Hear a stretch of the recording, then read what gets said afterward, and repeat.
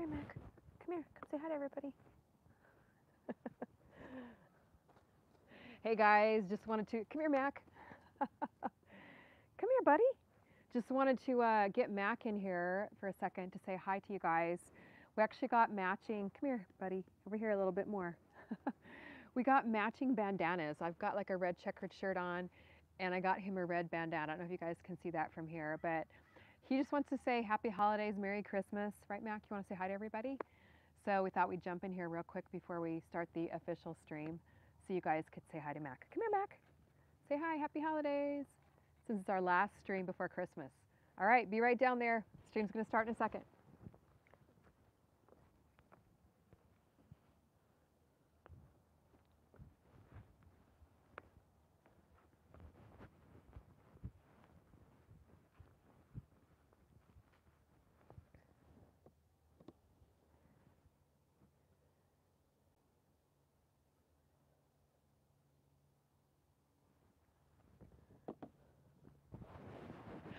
All right, so here we are. Mac's all ready for Christmas. Uh, yes, he is. He also, we also got him a couple little new uh, holiday bandanas, which if you watched our last few videos on YouTube, you might have seen them. Some pictures over on my Instagram. So we really enjoy, uh, you know, dressing him up festive for the holidays.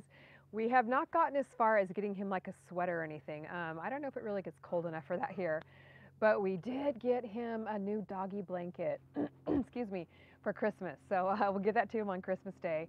Um, but right now he's just been using an old moving blanket, which he actually loves. It's kind of crazy. He doesn't really, uh, and he sleeps on Drew's bed. So anyway, welcome to today's live stream. Excuse me, you guys. Um, today is the last live stream of 2021. It's pretty crazy.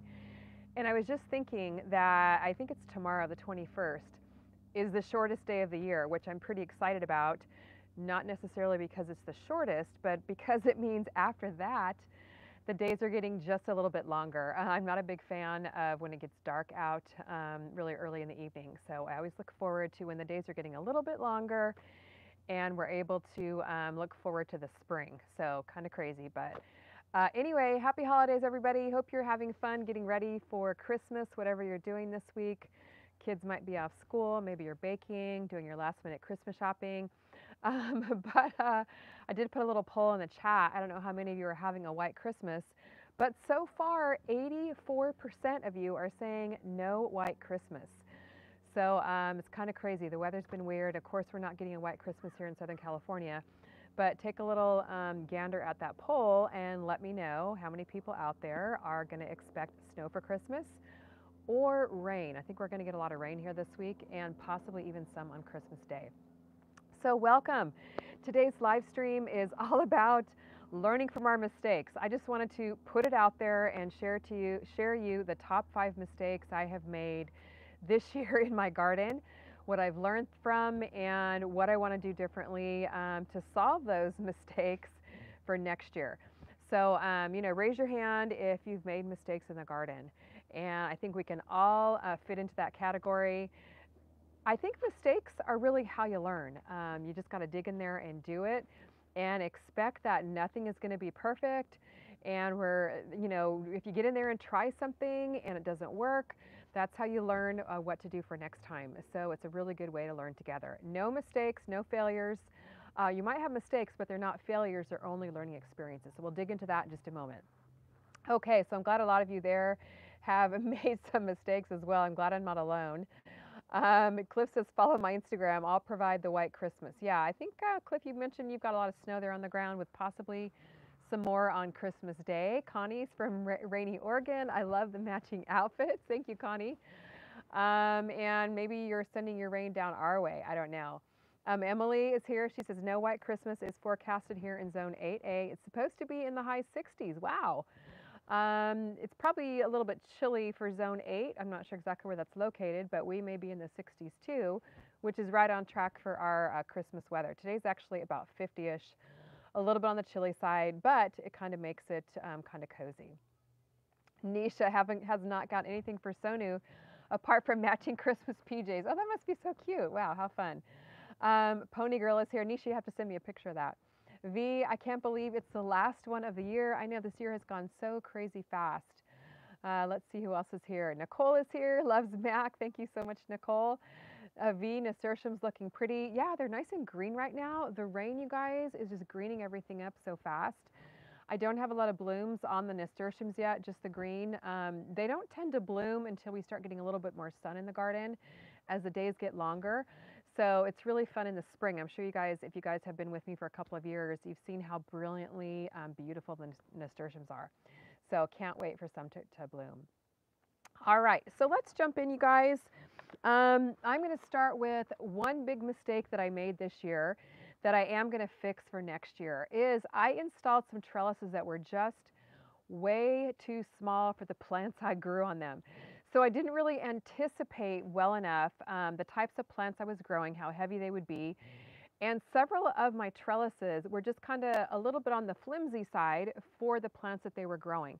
They would have been okay for lighter weight plants, but um, I don't know if you guys saw, I think I posted a couple times on Instagram about some of my uh, ladder arch or ladder mesh, I should say, trellises that are up the hill from me here.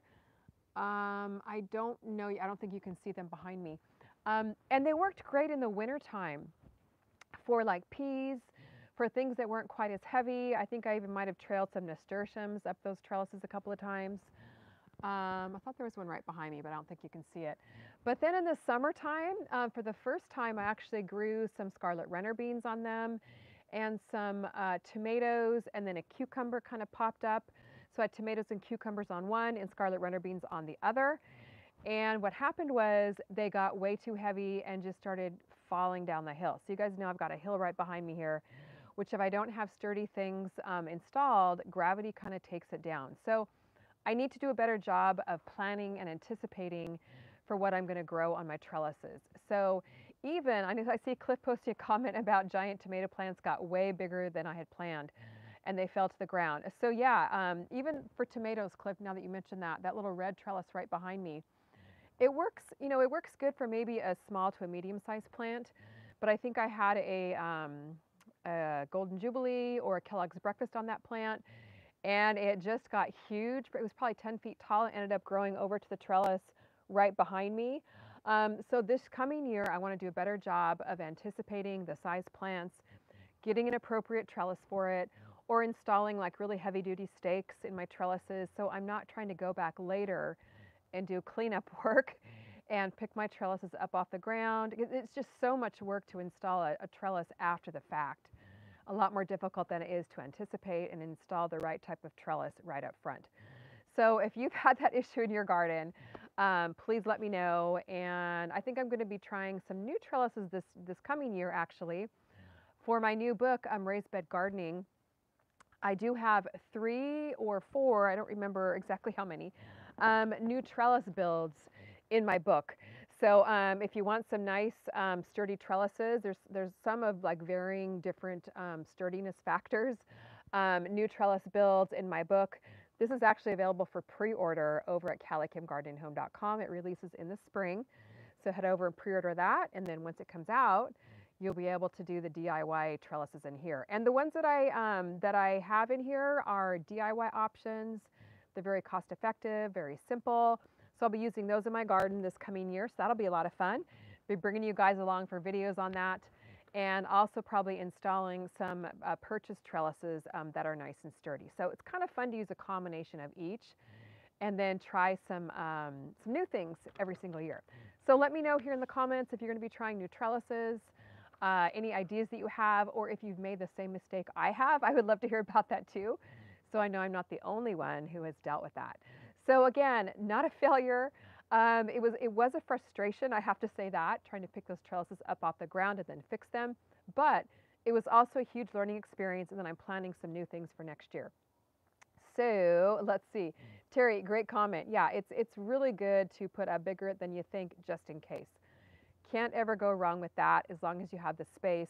And even if you're growing in containers, you know, in a small space, um, you can install pretty sturdy trellises in containers.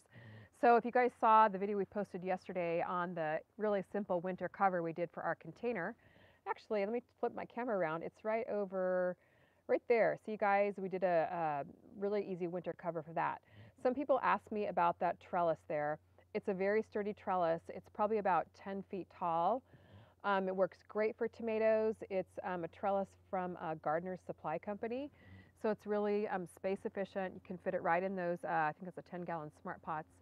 And then it's really simple to cover when you get to the winter time and you need something easy to put over your tomato plant.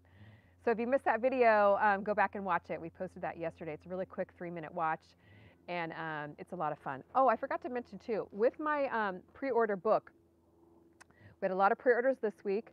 I'm going to go ahead, or last week, we're going to go ahead and run the giveaway for the pre-orders this coming week as well. When you pre-order my new book, you're going to get a free, whoops, a free uh, pea seed collection um, from me and a little Cali Kim uh, goodie package. So I really appreciate you guys uh, pre-ordering. It really does help me out with that. Um, Amazon actually bases their orders off uh, uh, the number of pre-orders I get by February 1st. So um, it really helps me out when you pre-order as soon as you can. But when you do, I don't think I brought all my goodies down with me though. You're gonna get a little Cali Kim goodie package, not only the free pea seed collection, but the little sticky notes, which are really fun, um, a free seed packet, and a little postcard um, of my book. I've got a Cali Kim pen, which I didn't bring down here, and a Cali Kim magnets, which I don't have either. So sorry, you guys. I thought I they were in my little goodie bag. So anyway, guys, uh, pre-order this, and that's what you're going to get. First 25 people, make sure you email me with pre-order in the subject line. And at this point, we're just doing U.S. addresses, but we will be having some future giveaways for international viewers. So do stay tuned for that in the new year. Okay, uh, Jackie, how you doing, Jackie? Great to have you on here. Yeah, lots of goodies, Charlene. Those are some fun ones. Um, Jackie said about two years ago, I grew a black cherry tomato plant. It's a huge tomato, and I'll definitely be looking for some kind of sturdy support. Um, so yeah, Jackie, you may want to give these guys a try over there. The gardeners, they're called the Titan Tomato Trellis. Super sturdy, very, very durable. I've had them now for three years. They're not showing a single sign of wear and tear. And the cool thing is you can move the rungs kind of up and down depending on the plant that you're growing. So you can find those over at Garden Supply. Garden, gardeners.com, I believe, is their website. And you just look up Titan Tomato Trellis. Mm-hmm. They have a couple of different sizes, and these are the large ones, and they come in a pack of three. Mm-hmm. So they're a really good one. Okay, let's see here. Um, oh, second mistake, you guys, that I've made mm-hmm. so many times. I always tend to do this is I start tons of seeds all at once. I have a day set aside, or I'm, I'm going to start every single seed I need for the spring.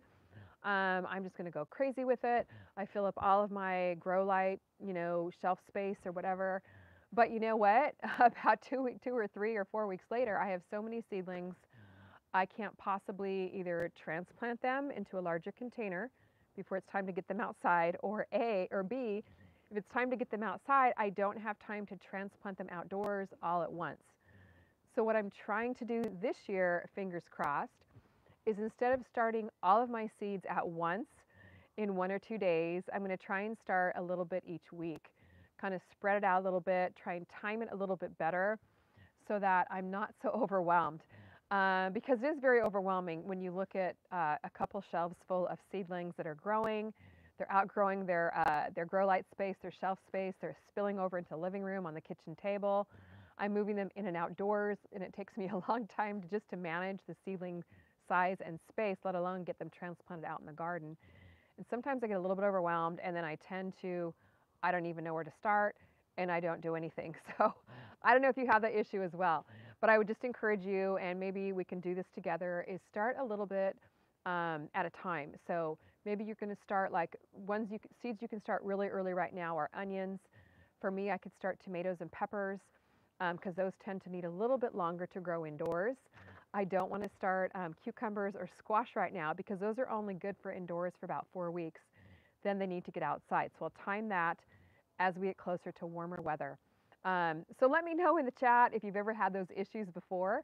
Uh, I a couple years ago I posted a video called, um, let's see, starting seeds indoors: six mistakes to avoid. It's been one of my, my most popular videos because I think we can all relate to the fact that we make mistakes, especially when we're starting seeds indoors. We're so excited to get our spring seedlings started that we tend to um, make a few mistakes along the way, which is really no big deal. But hopefully we can learn from that and do it a little bit differently this year so we're not so overwhelmed.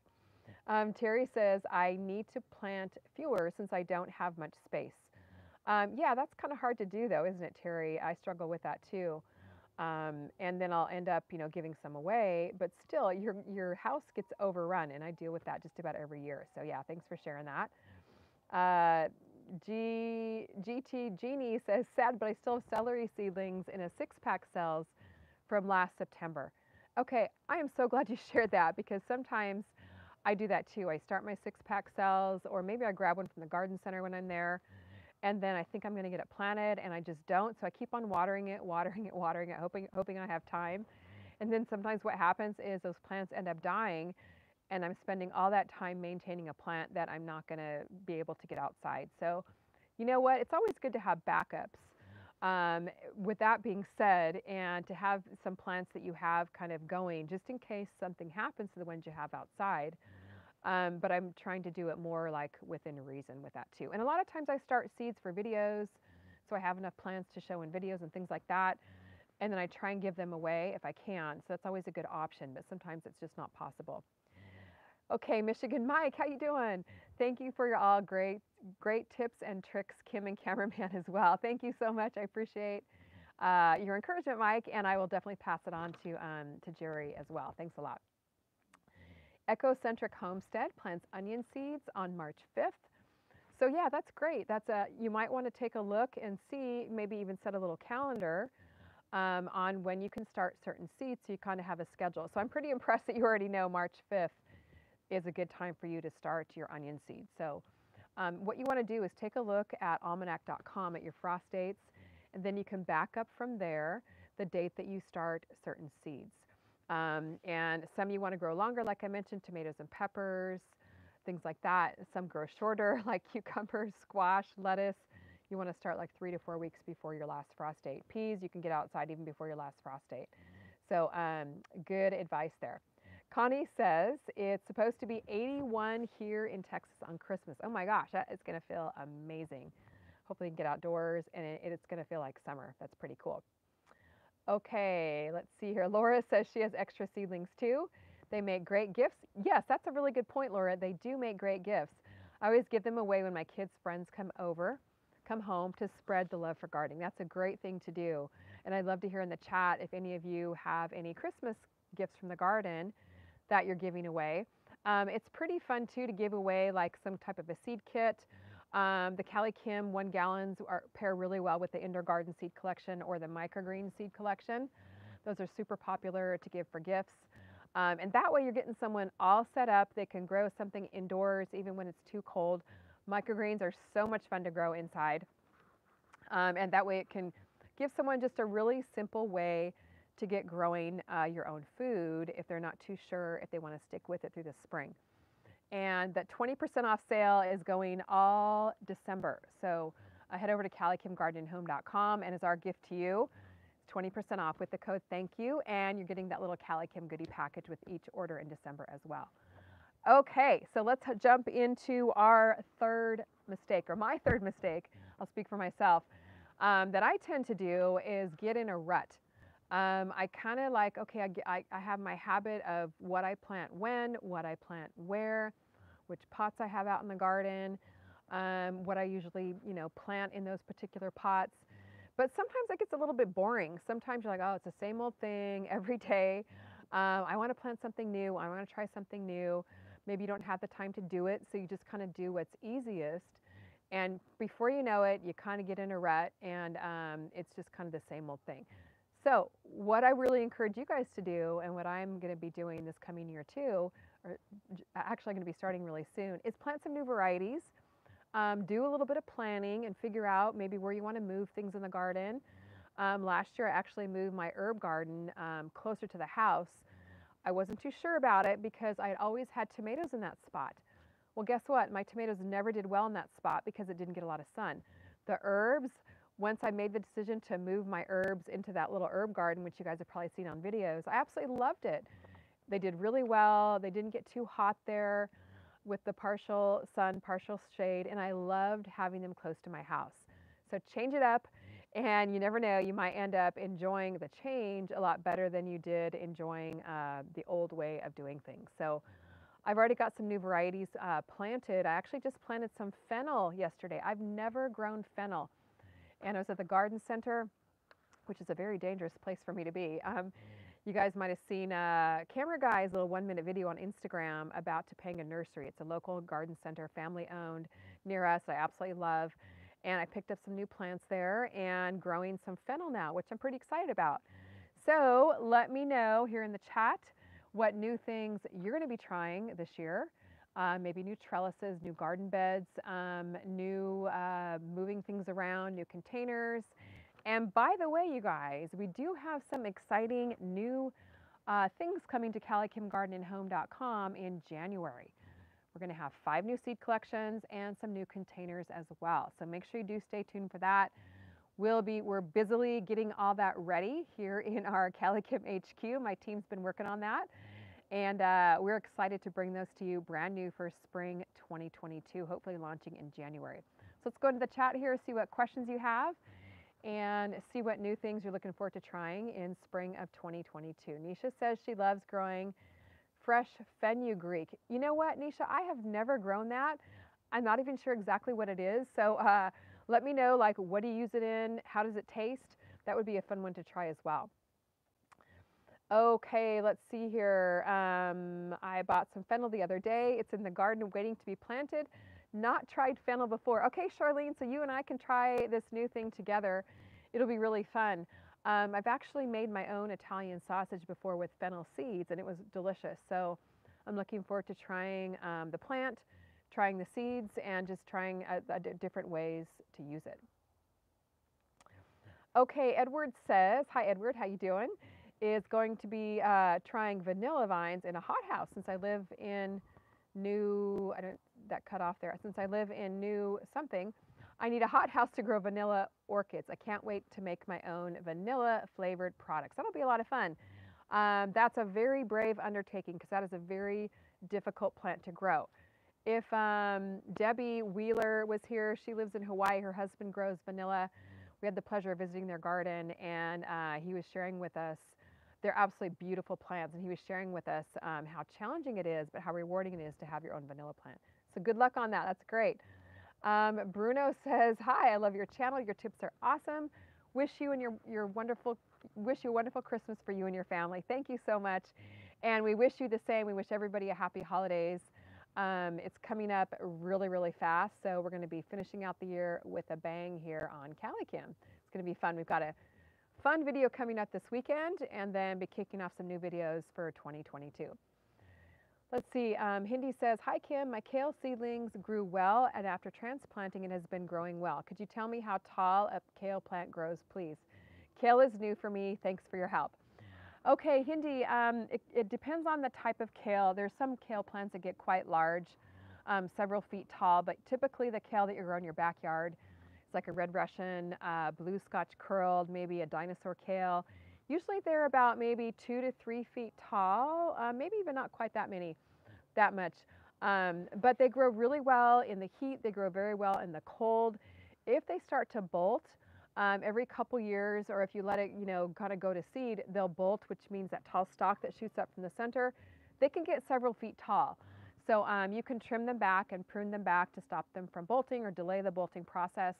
Um, but usually I've got some up on, if you guys can see those, a couple of levels up the garden bed from me here um, that are probably a couple feet tall. So they do really well in the winter time here in California. And uh, in most cold climates, they might last over the winter unless you get super, super hard frost, but sometimes they'll even last through that. Okay, uh, Nisha says it's a bit bitter in taste and looks like microgreen, so fenugreek. That's a fun one, Nisha. I'll have to give that one a try. It sounds like a, a good time there. Okay, let's see here. Okay, let's move on to our, besides keeping things fun and exciting. Oh yeah, I wanted to say too, you guys, um, something else new, fun, and exciting I'm going to be trying this coming year, besides trying new varieties, is we are going to be building some new raised beds. So that's pretty fun. And that will coincide again um, with the DIY raised bed builds I have in my new book. So we've got I want to say four or five DIY raised bed builds in here that are, several of them are some that we've never ever done before in my garden aside from building them for my book.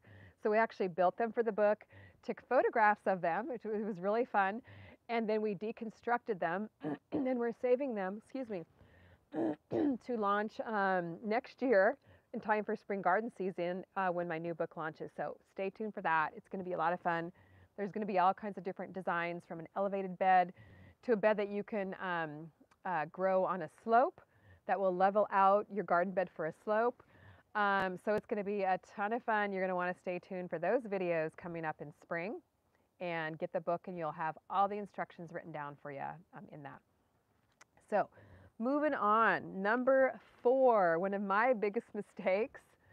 Uh, and hello, Anne. Nice to see you here. Hello from Ohio. It's been a minute. Yeah, great to have you back here, Anne. We have missed you. We haven't seen you here for a while. So I think maybe a lot of people are off for, for Christmas break this week or whatever. So um, Nisha, thank you so much. I would love to have some seeds. Um, a lot of people maybe are off for Christmas break or maybe you're baking in your kitchen or something like that and have a chance to watch the live stream. And I want to thank you all for joining us. And before I forget, next Monday, the 27th, we will be off for Christmas break from our Monday live streams and we'll be back the following week for the new year, January, I believe that's January 3rd. So make sure you join us on that. Tell your friends about the live streams, guys. We have a ton of fun here. Um, we would love to see as many people as we can joining the live stream so we can all learn together and hang out and provide all this fun garden chat and support for each other.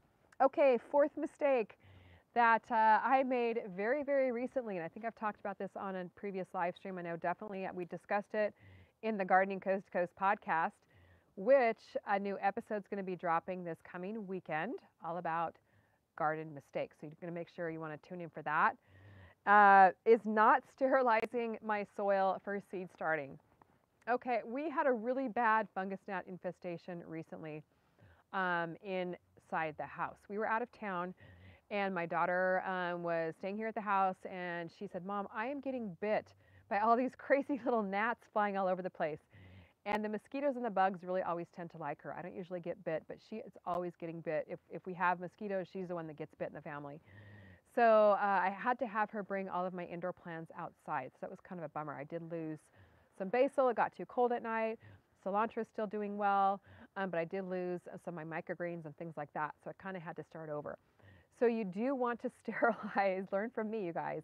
You do want to sterilize your indoor seed starting mix or whatever you're planting uh, seeds in inside. Um, yeah, it was really a pain. Um, it took a little bit of time to get rid of them. So um, all you have to do, it's very easy. It sounds a little bit, you know, crazy, but oh, there goes Mac again. Um, you can either bake your soil in your oven, which I think Cliff mentioned last week. I've never personally done that, but you can uh, put your oven on, I want to say it's around 200 degrees, a warm setting on your oven, not super hot, and uh, lay out your soil on cookie sheets in the oven. About 20 minutes will kill the bugs or anything that might be lurking in the soil. Now, an easier way to do that, especially if you have a good amount of soil, is last week I just put my soil in like one of those storage tubs that you get at, at Target or Walmart. And I just boiled some water and then poured boiling water over it. Um, and that will kill the fungus gnat eggs. And you want to let your soil sit a little bit till it cools off. And then you can go ahead and plant in it. So that works really, really well. You can also use those little sticky gnat traps or sticky fungus gnat traps you can kind of stick in your uh, indoor plants. The gnats will fly to them, and that's a good way to you know trap them if you do get a breakout. Or um, I always kind of do a double duty is the boiling water plus spray my soil with neem oil um, before I plant, and that will kill the bugs. Um, it works really well for the chewing insects there. So let me know if you've ever made that mistake. Hopefully you haven't had a fungus gnat outbreak like I did. But do yourself a favor and learn from me and make sure that you do sterilize your soil before you start your indoor seed starting. Because I would really hate for you to have all these indoor seeds, seedlings growing. And then you've got a fungus gnat outbreak that's super, super hard um, to get rid of. So always easier to prevent something than if you try and go back and uh, do a cleanup job. So yeah, uh, big problem. Oh, Charlene, that's such a bummer. We've had that. We took a big bag of potatoes from my in-laws Short story, they were rotten and full of gnats. Took ages to get rid of them. Yeah, they just kind of fly around your house. They're annoying. If you have any fruit sitting on the counter, they're like in that. So um, yeah, really, really a pain. okay, uh, GT Genie says the 99 cent store has those yellow fly traps for the win. Yeah, those are work really, really well too. Um, and then those little sticking out like shaped in the like a shape of a butterfly or a flower, you can pick up on Amazon. Those are pretty handy too. Okay, uh, Anne says even the basil from my greenhouse died because of the cold. Maybe you can grow some inside. Actually, basil grows really, really well indoors on the kitchen counter. So hopefully get some more uh, growing.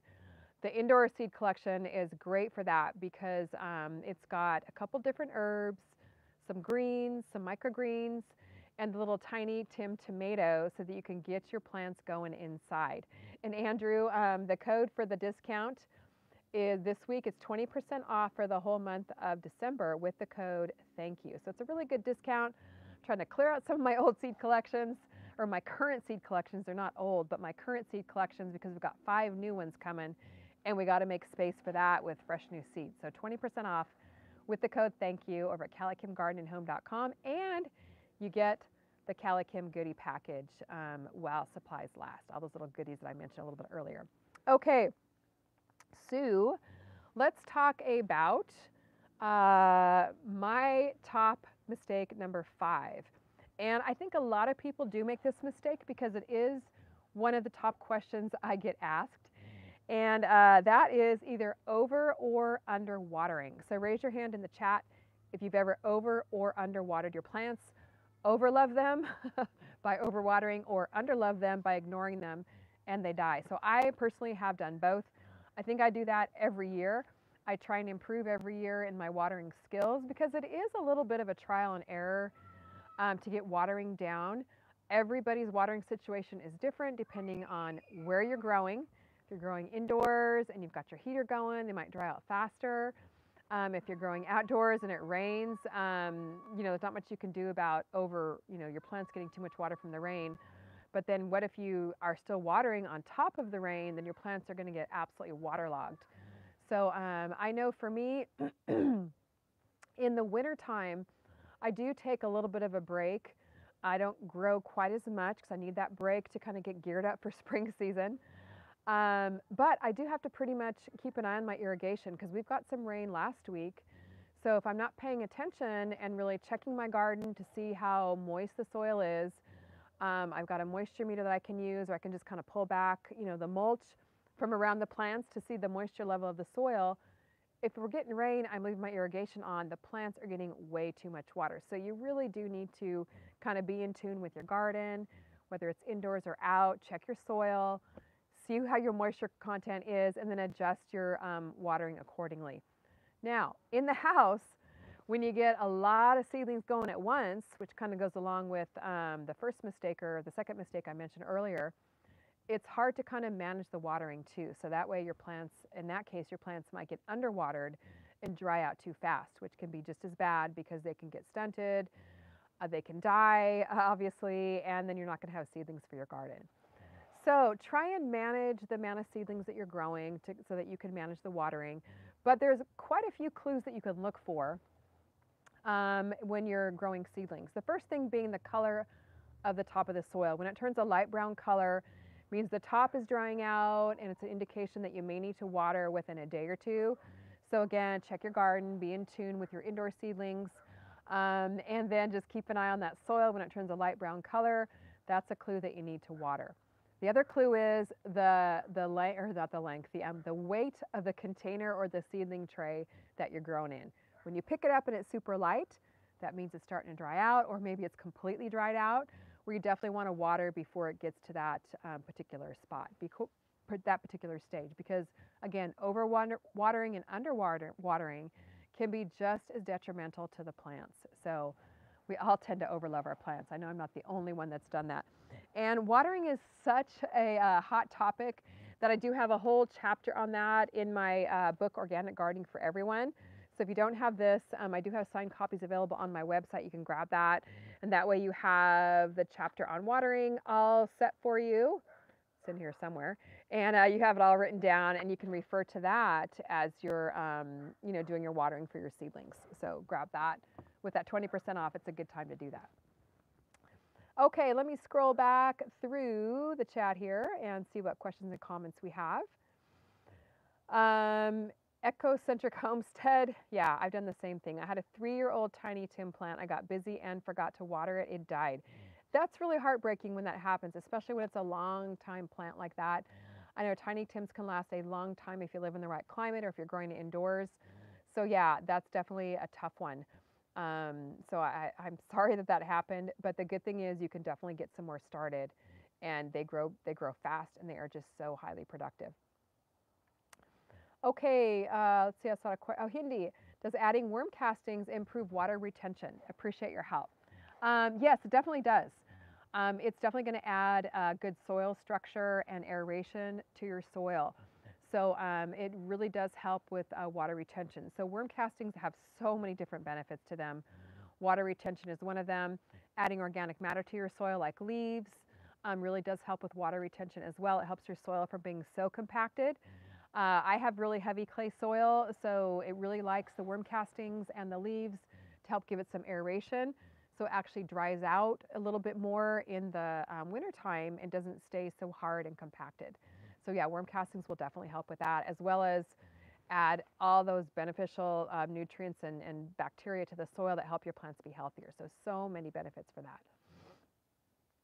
Okay, Emily says uh, mulching with leaves really helps to maintain moisture so you don't have to water as much. Yeah, that is a fantastic free resource, so definitely one of my favorite ones. Uh, I know in the in the summertime when it's really hot, I would be lost without covering my garden bed with some type of mulch, whether it be shredded leaves or shredded straw or something like that, to help keep the soil from drying out. So definitely mulch is a huge, huge benefit when it comes to watering in uh, hot weather. So yeah, highly recommend that. Okay, let's see here. Timothy, how you doing? Um, oh, where did his question, his question go? Here we go. Um, hello, CaliKim. I grew bell peppers indoors before with just water and a little sunlight. Now I have a desk light with a 26 watt bulb that has 1648 lumens to grow my bell pepper. Is that a good method? Um, you definitely, grow lights are super, super helpful for growing really strong seedlings, but I would look for a grow light uh, bulb, and they're not that hard to find. You can find them at most hardware stores or on Amazon that has a higher lumen level because the higher the lumens, uh, the more it's going to mimic sunlight. So you want to have between about 4,500 and 6,500 lumen level. So look at your local Home Depot, Lowe's, whatever you have nearby you. See if you can find a grow light bulb to fit that particular lamp um, with that lumen level. Or I've got all kinds of, I've got all the links that you would need for that in my grow light video. Um, actually, I think I might have it in the, in the video description of this live stream. So go and look at those. Those are all Amazon links which you can purchase online. So great question though. Grow lights are also another um, confusing thing for a lot of people. Okay. Oh, did I already go through all five? I think I did. So my first big mistake was two small trellises for too large of plants, starting too many seeds at once, getting in a rut, uh, not sterilizing soil for seed starting, and over or under watering. Those are my top mistakes of 2021 that I'm going to be moving forward into 2022 and working on those. We all learn many valuable lessons from the garden. I think it teaches us not only about growing plants, but also lots of life lessons like patience, um, just mental health in the garden, just taking time to relax and slow down, which is something I always struggle with as I'm always going a million miles an hour. And when I'm out in the garden, um, it's, it's, a, it's a nice time to kind of force myself to slow down, um, and unwind and have some peaceful moments where I'm not really thinking of or doing anything, just to be, right? We all need that. So um, let me know if in the, in the chat here any other mistakes that you all have made because part of the purpose of this live stream is that we can learn from each other and grow together. And uh, you know, we're not just all in this on our own. We're part of a, a bigger community, which I think is really, really important to um, to have in our lives for each one of us. We are designed to be, you know, in relationships with each other and community, and we can all grow and learn together. So let's pop into the chat here and um, see what other mistakes that you're making that we can all learn from you. Okay, Jason of the Great Awakening, I make all those mistakes. Good, I'm glad I'm not alone on that, Jason. But learning the hard way, LOL. Well, you know what? I think we all learn the hard way um, at some point or another in our lives. But again, if you never get started because you're afraid of making mistakes, then you're never going to learn. You're never going to experience the joys of growing your own food and the many rewards that come from being out in the garden. Thank you so much, Tarsha. Appreciate your Merry Christmas wishes, and same to you as well. Uh, Stasha, any tips for aphid control in a grow tent? My tomatoes and peppers are getting destroyed by aphids. Oh my gosh. Um, that is such a bummer. I would highly suggest you, I think I probably have it in the link in the link of this video, um, neem oil or insecticidal super soap. They're both by Bonide. You can use them either indoors or outside, and especially um, the insecticidal super soap I've used on aphids, and it, Mac just keeps walking back and forth, doesn't he? Um, and that works really, really well on aphids, spider mites. You can use it um, on your indoor seedlings. Uh, so definitely grab some of that. You can, you can find you can get it I think on Amazon as well or Bonide.com has um, great resources for whatever types of insects or diseases you're having trouble with. Mm-hmm. It's called a problem garden problem solver. You can you can put those in there and it'll tell you which products will work well for that particular issue. Mm-hmm. So funny thing is, someone actually recently gave me a grow tent. Mm-hmm. I've never had one before. So that's also a new thing that I might be doing. So let me know if that's something you'd be interested in seeing a video series on. I know not everyone has a grow tent, so I'm not sure if people would be interested in that or not, but it would kind of be a fun thing to try. Mm-hmm. So let me know if that's something that sounds fun to do a few videos on. Okay, uh, Amy said, Amy Jackson, I need to have my seedling starting station in my view during the day or else I forget all about them and I forget to water them. Mm-hmm. So into the kitchen they will be for this year. So Amy, great point is that you kind of have to figure out what works for you. Mm-hmm. So while it might be kind of a pain to have them in your kitchen, unless you have a really big kitchen, if that's what works for you so that you remember to water them and remember to, um, to take care of them, then make that adjustment and make it work for whatever space you have. Okay, Rich says, will watering raised beds and indoor plants with tap water undo the benefits of watering with worm tea? Um, no, I water with tap water for most of the time I've been gardening. I did try a filter on our outdoor watering uh, a long time ago, but I really didn't see that it made any difference. So we, we took it off and we just go with tap water for indoors, for outdoors. Um, for us, for where we live, it works just fine.